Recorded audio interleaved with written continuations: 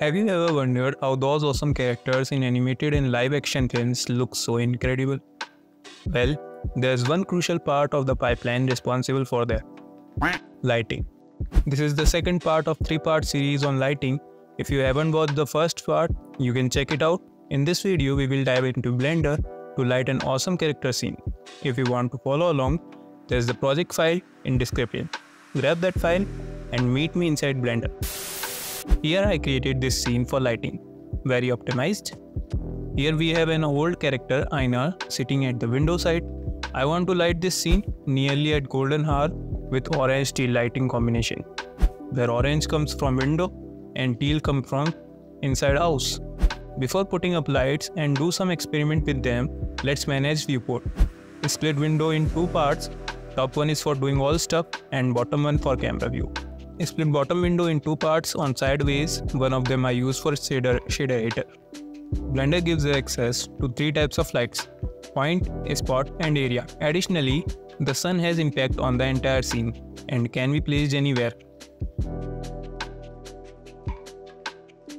We often give light names based on how they affect the character. For example, the key light reveals the character and fill light fills in shadows. The rim light separates the character from the scene and bounce light provides reflection illumination.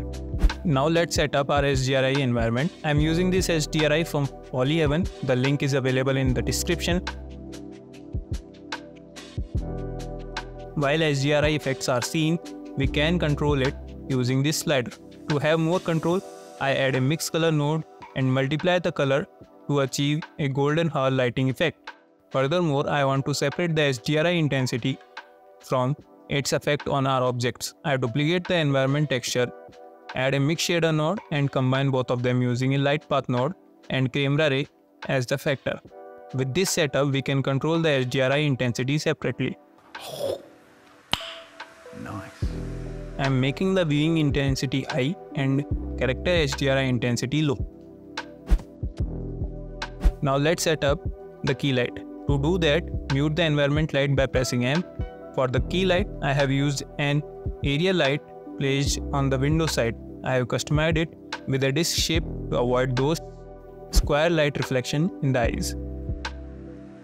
Make sure you enable custom shadows and contact shadows. Fine tune the custom distance setting to ensure that the light doesn't affect areas other than character. Adjust the intensity and color as per your references and I have scaled the light to achieve soft gradients. Additionally, I have added another key light to enhance the character detail. To do this, I have scaled down the light source and adjust the intensity accordingly. To separate the character from the scene, I have used another area light with a small size and low intensity, placing it at the back of the character. Now, here we break the rules of traditional lighting. As we discussed in the previous video about rule breaking, when the main light source comes from the window, you typically don't get light from the backside, creating a rim effect. However, during the lighting process for this scene, I discovered that this approach enhanced the overall composition. Now we have done the most crucial part of the lighting and it's time to enhance the scene with fine details. To fill in shadows, I have added two area lights with medium intensity using the same color as the key light and a larger scale size for the lights. Additionally, we are working on a non-ray tracing engine. I have used two area lights with low intensity and diffuse value to 0.2 and specular in volume values to 0. These lights match the key light's color but with reduced saturation these lights are placed near to the surface and directed towards the character, serving as bounce lights to add depth and realism to the scene. Now unmute the environment light and tweak them if you want. Next, I add sunlight with an intensity of 11 and a similar color to the key light.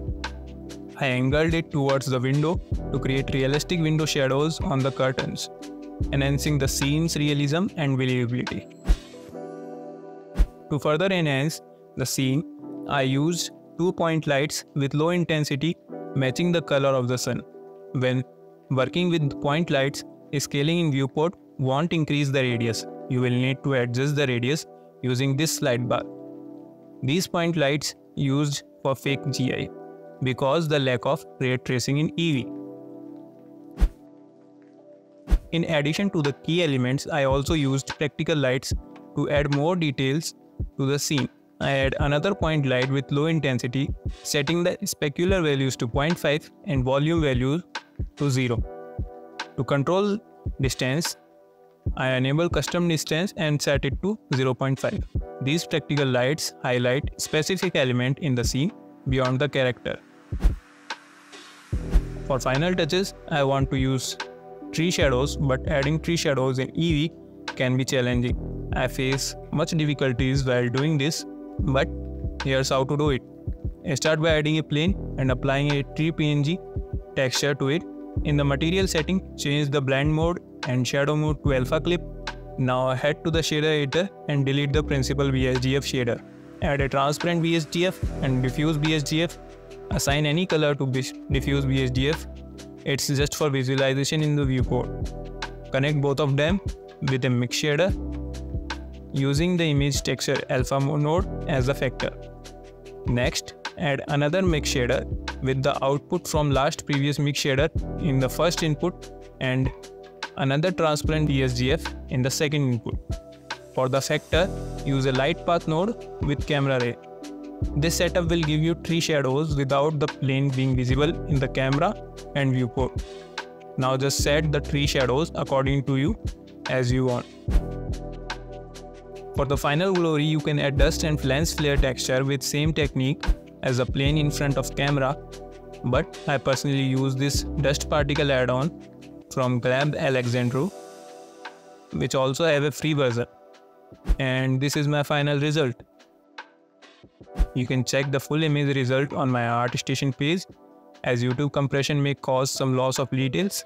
For now, you can experiment with different settings to render with Eevee and in the next video, I will share my render settings, composition technique and life-changing lighting notes. The next part will also be the last part of this quick series. I hope you like this video and if you want to become a Blender nerd, comment your thoughts and hit the subscribe button.